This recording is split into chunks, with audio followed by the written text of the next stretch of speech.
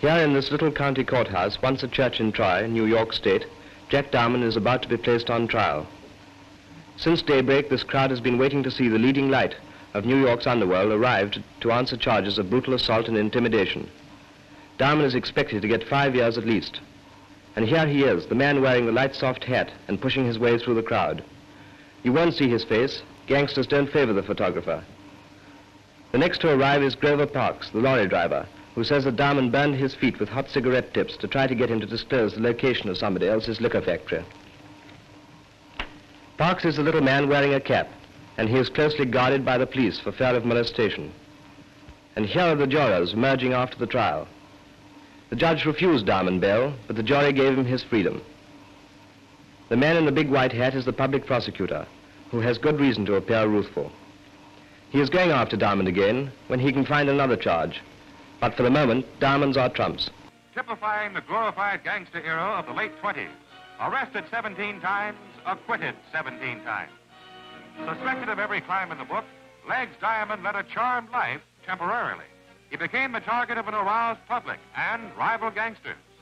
End of an era was in sight as Diamond is again in custody.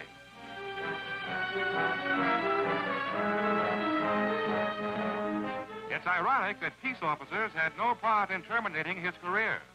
Released from charges, Diamond was shot in Albany, New York.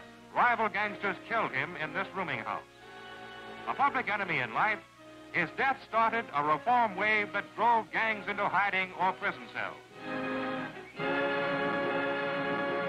This was Legs Diamond.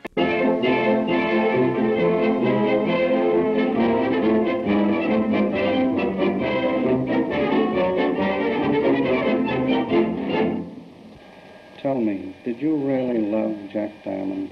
Yes, I loved him dearly and interrupted my stage career because of my love for him. How did this famous gangster treat you? He treated me wonderful, kind and lovable. I wouldn't know a gunman if I saw one. Aren't you sorry you didn't take your mother's advice and keep away from Diamond? Yes, but all young girls think they know it all.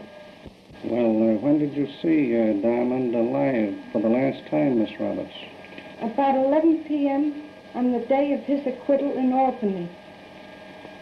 Uh, how did you learn that he had been murdered? When I awakened by newsboys' cries, Jack Diamond slain. Well, uh, what happened then? I fainted and I nearly fell out of the bedroom window. Miss Roberts, uh, what advice have you for other girls who are tempted? I'd advise them to live good, clean lives and obey their parents' wishes.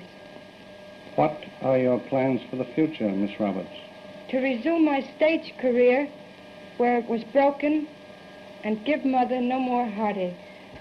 Well, Mother, what have you got to say? Oh, I'm the happiest woman in the world today that I have Marion back with me. I prayed night and day to have her with me for Christmas, and God has answered my prayer.